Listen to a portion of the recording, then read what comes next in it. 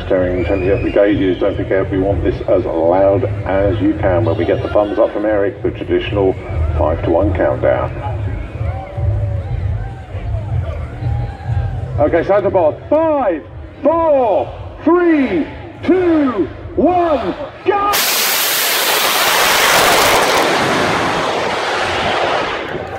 That was a half pass. He went one second to 60 foot. 170 miles an hour at the eighth mile in 3.89 seconds. And, well, we still went through the quarter, obviously, 685 at 139, but goodness.